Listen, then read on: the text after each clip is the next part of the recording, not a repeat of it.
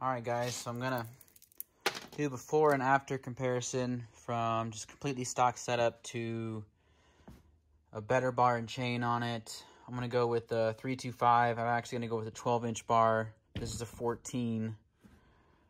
And then uh, do do comparisons with the full stock setup and then with the different bar. And then I'm gonna go ported with this bar and then ported with the other setup and let's see what happens. And, you know, I'm just not real, not all that happy with this saw. I think it's underpowered. It still needs some more breaking time, but I bought this full chisel Woodland Pro non-safety chain, and it's the same story. It just, it's, it jumps around a lot. The chain speed's not all that great. So I'm going to go ahead and port this and see what happens.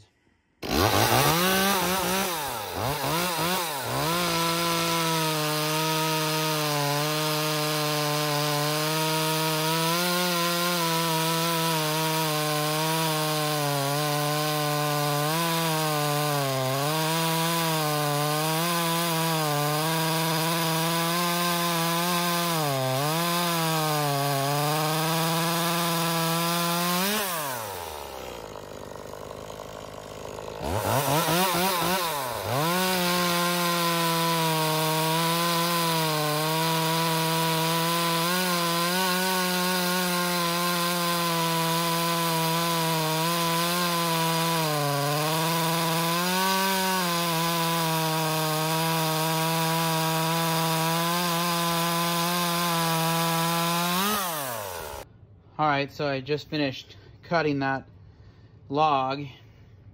That was a somewhat fresh black walnut. And this is, like I said, a 14 inch. Now, I accidentally bought a 12 inch bar. For some reason, I thought this was already 12 and I was at work, so I just went ahead and ordered it. I think it'll be fine, but the comparison will be a little different. But that piece of wood was probably 12 inches on its own, maybe 11, I don't know. But it didn't it cut okay. I mean, you saw when I got into the thickest part of the wood, it was chattering really good and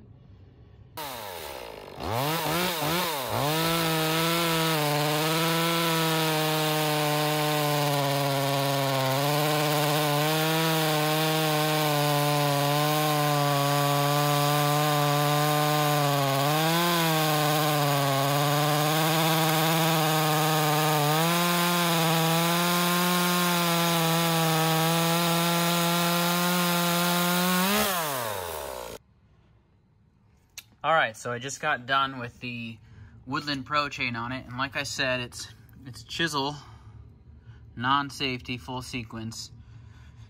Honestly, it cut a little worse. I think uh, I think I'd have to file the tooth back a little bit to get the rakers higher to get that cut smoother.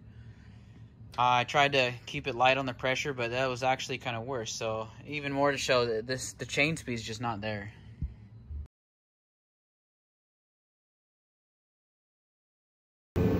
Well, I'm over here at my dad's shop. That's where the welder and all the bigger, more expensive tools are at in space. But, um, you know, I thought I could grind this lip that was on here originally off and separate the three pieces. And you can kind of see that there is three sections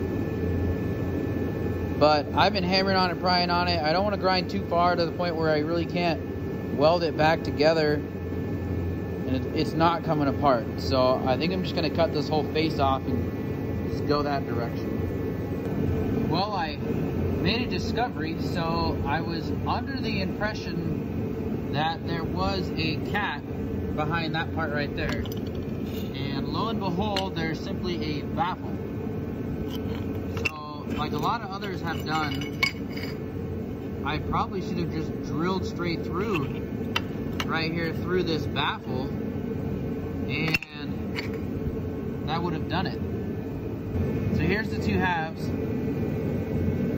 You know, as you can see there, you can, there's two layers here and I tried to push the one out, didn't really want to come out and I pried on it a bit and I just decided the outer shell is so thin I it just didn't really care for how thin that was, so I just decided to drill a bunch of holes in the baffle, and well, as you can tell, it's really not going to do all that much now.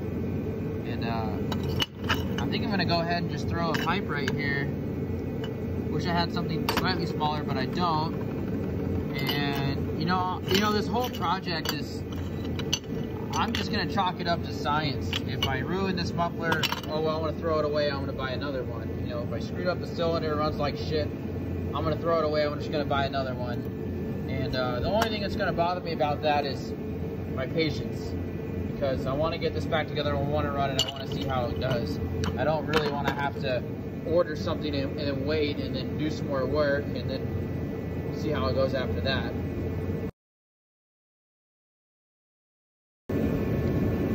Well, I totally butchered this muffler, but gonna be better in stock, that's guaranteed. The size, the opening's about two and a half times the size of stock, maybe three times. And uh, I like how everything turned out. Actually welded it together was no problem at all, except I got to this one corner and no matter what I did, I just kept blowing metal away. So I had to crank my welder all the way down which I was pretty close to there anyways, and well, I kind of built it up a little bit and it's fine, but it's gonna work, guaranteed.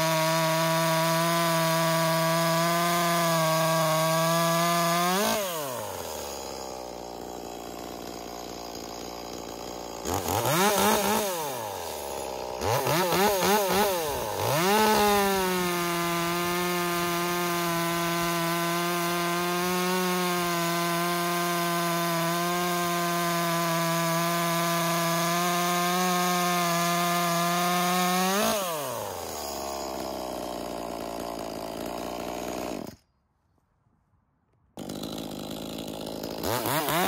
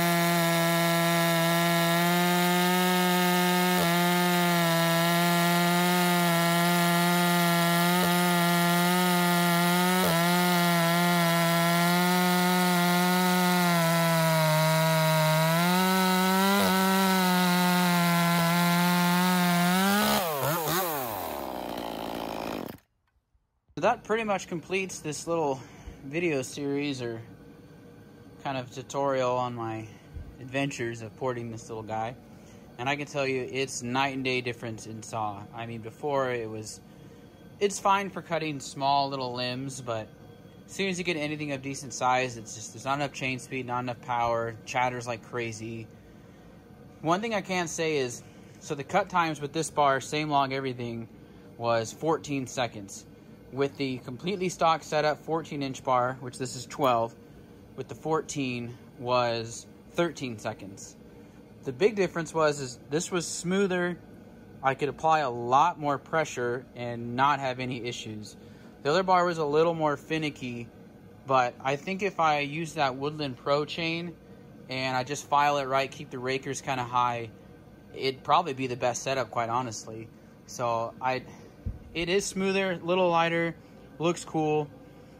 Which this is a obviously Forester 12 inch bar. It was not Echo specific. It was like a multi-mount. Uh, it bolts right up, oils, chain. I ended up going to Stihl and getting this uh, 1 4th 050. It's a nice little carving chain. I like it. Cuts good, semi-chisel. But I can say if you're thinking of buying this setup, which this was like a hundred and I think 20 bucks for the bar, chain, and sprocket, I'd probably just pay somebody to port it. I mean, I charge 240, which includes return shipping to port a saw, and with the stock setup, I thought it cut great once ported. So that's kind of up to you. I mean, I know there's guys too just doing a muffler mod, timing advance, and going with this setup. I, I mean, that works pretty good, but it's not the same. Uh, you know, I got more compression. It's just all around better saw now. I actually like it quite a bit. Um, I would probably go with a 14 inch. Like I said before, I accidentally bought a 12. I think 14 is better fit. And uh, the saw is not even broken in yet. It's only maybe at most two tanks of fuel through it. I bought it to do some limbing and uh, Doug fir right next to my house. Did that, put it away. I hadn't used it since until now. So there you go. If you got any questions, you uh, want some work done, let me know. You know, I port saws every week here in Oregon. And I got my, my Logan 210 lathe. Kind of dirty right now. I'm actually in the middle of cleaning my garage as we speak. But porting, doing machine work. Uh, I don't really do just basic repairs unless it's in for port work. But uh, yeah, uh, thanks for watching and hopefully I covered everything. And I actually forgot one thing. Of course I forgot one thing. Um, I'm not sure yet if a timing advance really does anything. I've seen some other guys with their saws do a timing advance and a muffler mod, so hard to say. You know, there's very little information on porting these saws on the internet. Uh, there's some other guys who got some videos out there who say timing advance didn't do anything. Uh, I went ahead and ported it and timing advance at the same time. I did about a third of the key. So I'm actually going to try put it back to stock timing and see what happens. And uh, yeah, that was about it. I uh, you'll have to wait for a video for that to happen.